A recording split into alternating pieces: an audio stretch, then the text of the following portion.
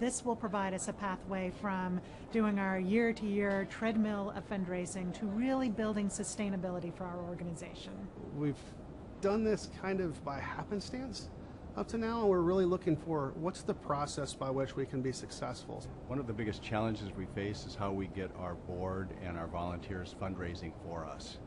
And the Benevon model gives them a really easy way of just inviting their friends in to learn about our organization without having to worry about making a financial commitment.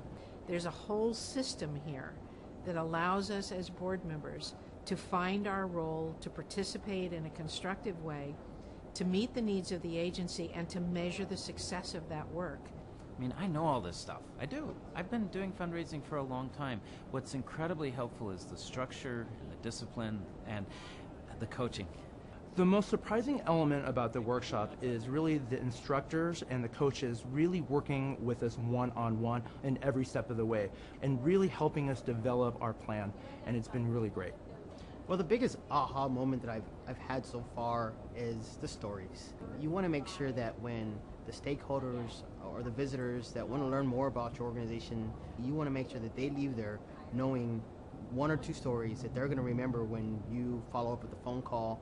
My biggest insight from the Benevon workshop so far has been that we've been reminded about why we do this work and the importance of centering on that when we go out and do our fund development.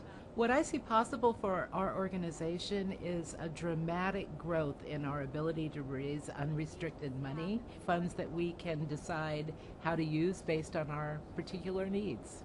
The advice that I would give to anybody trying to bring this into their organization is that it's a way of doing uh, relationship building that will continue to evolve and grow the constituent base. What I'm really looking forward to taking back to the board is really a process or a methodology for the way that we're actually going to create our, our fund development strategy. I was skeptical at the beginning. I was skeptical because we were already raising a lot of money. We are a very successful agency. And my thought was, why would we have to pay someone to help us raise money when we're already raising money?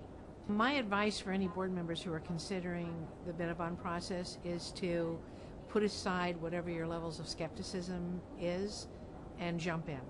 I'm looking forward to going back to the office and telling everyone the richness of the story that we have to share that I found here at Benevon.